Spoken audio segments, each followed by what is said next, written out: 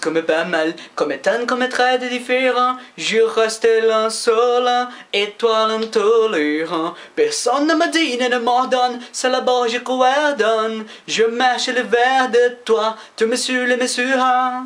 Franceses, graças a eles, e dizem alguns graças a Napoleão, que o estudo de egiptologia se desenvolveu. E o estudo sobre a cultura egípcia e a cultura suméria durante a Idade Média, foi praticamente negligenciado pelos europeus. E qual é o motivo principal? Porque é tudo bruxaria! Por exemplo, você sabe por que o zodíaco é dividido em 12 casas? Primeiro a gente tem que entender o que é o zodíaco. Em Denderá, por exemplo, no templo de Hathor, encontramos o zodíaco de Denderá. E Hathor significa casa de Horus. E Horus é um pássaro. E a casa do pássaro então significa o céu. Bom, lá nesse templo encontramos o zodíaco de Denderá que representa o céu, e um monte de animais no céu. Isso é claramente o animismo da abóbada celeste. Mas aí vem a pergunta, por que dividimos o zodíaco em 12 casas? Ah, é porque tem 12 esferas galácticas aí de da Via Láctea e do Andrômeda e... Não, seu maconheiro. É pelo mesmo motivo que temos 12 meses no ano e pelo mesmo motivo que temos 12 medições no relógio analógico. Porque os signos estão relacionados com o tempo ou com a movimentação do Sol que hoje sabemos que não é a movimentação do Sol, mas sim a movimentação da Terra em torno do Sol. Em certa época do ano, o ano para quem não sabe ainda é o período que a Terra dá uma volta no Sol. Então, em certo período do ano, quando a Terra está aqui, de dia vemos o Sol e de noite vemos essas estrelas. Quando a Terra está aqui, de dia a gente vê o Sol e de noite a gente vê essas estrelas. Quando a Terra está aqui, de dia vemos o Sol e de noite vemos essas estrelas. Então o zodíaco está relacionado com o tempo. Mas por que 12 signos? Por que 12 casas? Por que quando eu ia fazer exercício na porra da minha escola, eu tinha que fazer cálculos com base 12 com base 60, em vez de fazer com a porra da base 10? Por um motivo muito parecido que a gente usa a base 10. Dedos! Sim, dedos. Cada dedo ou significante ou símbolo adquire um significado, uma racionalização quantitativa. E aí você faz 1, 2, 3, 4, 5, 6, 7, 8, 9, 10. 11, 12, 13, 14, 15, 16, 17, 18, 19, 20, 21, 22, 23, 24, 25, 26, 27, 28, 29, 30. 30 e 1 e 2 e 3 e 4 e 5 e 6 e 7 e 8 e 9 e 40. Nós agrupamos em forma decimal por causa disso aqui. Os astecas, por exemplo, não agrupavam os números deles em em base 10, eles agrupavam em base 20. Por que, que eles faziam isso?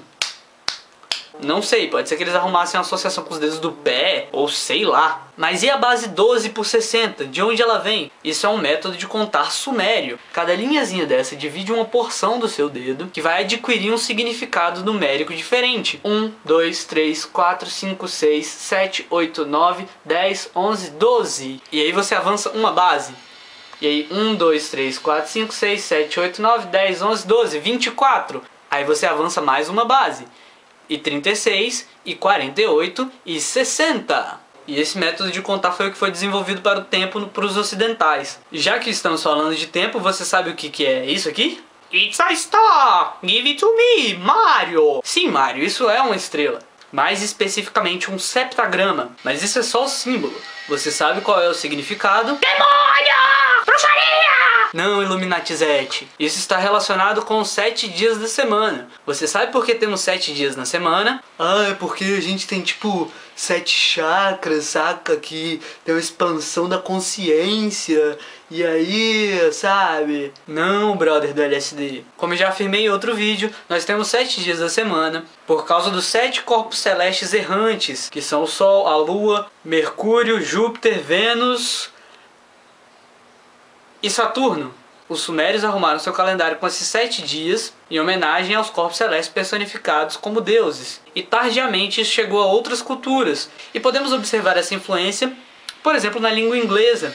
E eu vou pedir licença para vocês para pegar esse desenho aqui. Não sei se vai dar para ver aí bonitinho, mas aqui temos o Sol, a Lua, Marte, Mercúrio, Júpiter, Vênus e Saturno. Na Suméria tínhamos Shamash, Sim, Nergal, Nabu, Marduk, Star e Ninurta. Em inglês temos Sunday, dia do sol, Monday, que é o dia da lua, Tuesday, que eu não faço a mínima ideia de quem é, Wednesday, que é o dia de Wodan, que é Odin, Thursday, que é o dia de Thor, Friday, que é o dia de Friga, Saturday, que é o dia de Saturno, E espanhol, que é uma língua latina, temos domingo e sábado, que é igual em português. Mas segunda é lunes, a lua. Terça é martes, o Marte. Quarta é miércoles, ou Mercúrio. Quinta é jueves, ou Júpiter. Viernes, ou Vênus. E sábado e domingo, como eu já disse, é sábado e domingo mesmo. Tá, e como é que eu chego aqui na estrela de sete pontas? Bom, Ptolomeu, astrônomo, no século II depois de Cristo, escreveu o que a gente chama de Almagesto. E nesta enorme obra literária, ele trata como é que deveria ser o céu, colocando no centro do universo o planeta Terra. E a disposição na qual ele coloca esses corpos celestes é muito interessante, é exatamente essa daqui. E aí eu vou pegar uma caneta e eu espero mesmo que dê para ver daí, mas eu vou seguir essa disposição. E ele vai da Lua a Mercúrio. Depois de Mercúrio vem Vênus. Depois de Vênus vem o Sol. Depois do Sol vem Marte. Depois de Marte vem Júpiter. Depois de Júpiter vem Saturno. E depois de Saturno, para você fechar o ciclo, você liga com o primeiro, que é a Lua. E está aqui a sua estrela de sete pontas. Tá, mas de onde veio a disposição de Ptolomeu para os planetas? Será que ele estudou a religião suméria? É evidente que sim. Pelo menos a mitologia assírio-babilônia, que é a mesma coisa que a religião suméria, só muda os nomes.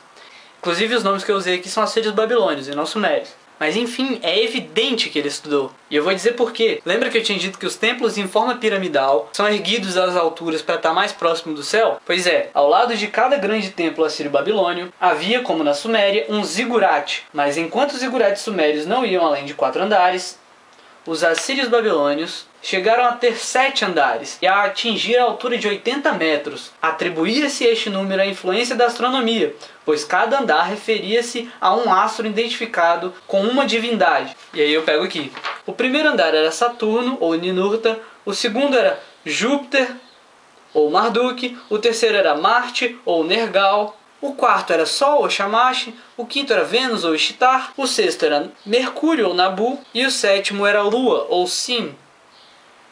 Se você contar do sétimo andar para o primeiro, você vai ver que é a mesma coisa do modelo ptolomaico. Interessante, não? Bom, se você gostou desse, eu imagino que você vai gostar de outro vídeo, porque esse aqui é só uma introdução para um vídeo que eu vou fazer para poder reafirmar o que eu já afirmei uma vez, que os contos hebraicos vêm dos contos sumérios que é apenas uma adaptação para um povo como tantas outras que tem ali na, na região semita, e mostrar como naquele contexto histórico outras regiões chegaram ao monoteísmo, o que indica que os hebreus foram influenciados por essas outras religiões, e não que eles inventaram o monoteísmo. Bom, espero que gostem e aguardem. Paz para todos.